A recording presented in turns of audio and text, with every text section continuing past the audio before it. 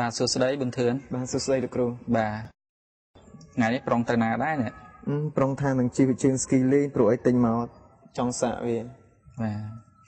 ហើយមានធ្លាប់លេងបាល់ពីមុនមកបាទបាល់ផ្ទះបាល់ទាត់អីណាបាទពីមុនបាមកល់ធ្លាប់លេង skate អីណាបាល់ skate ជាមួយនឹងបាល់ទាត់អូអូអញ្ចឹងបាទហឹមថ្ងៃនេះ មានពាក់វិជើងស្គីដូចត្រូវនឹងប្រធានបទដែលខ្ញុំចង់ពិសោធន៍នេះអញ្ចឹងខ្ញុំចង់ឲ្យលោកគ្រូចូលរួមបានទេ ពាក់វិជើងស្គីឲ្យចូលរួមក្នុងពិសោធន៍តែម្ដងបាទបាទធ្វើការពិសោធន៍មួយណាបាទបាទអត់អីទេបាទបាទ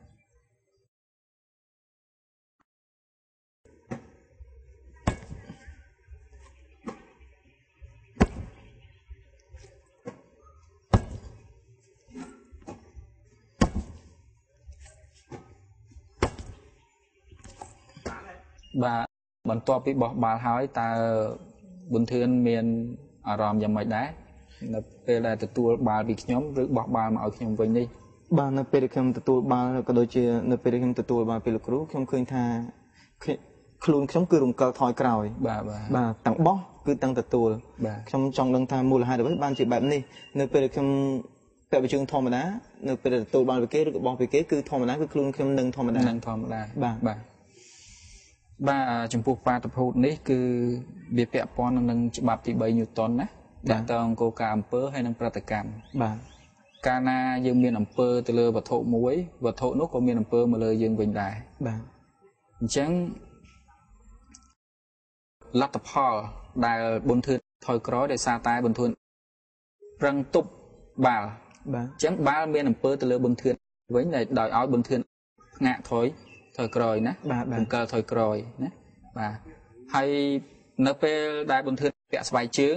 គឺអត់មានបាតុភូតនឹងកើតឡើងទេណាបុនធឿនអាចនៅកន្លែងតែមួយណានៅនឹងមួយកន្លែងដោយសារតែមានកកិតជាមួយនឹងស្បែកជើងរបស់យើងបាទបាទប៉ុន្តែចំពោះកង់ស្គីក៏កាត់វាតូចអញ្ចឹងធ្វើឲ្យប៊ុនធឿនរងអន្តរកម្មជាមួយនឹងបាទបាល់ហ្នឹងបាល់ហ្នឹងបាទតកតងទៅនឹងគោលការណ៍បរិមាណចង់ណាបាទតកតងនឹងបរិមាណចលនាវិញ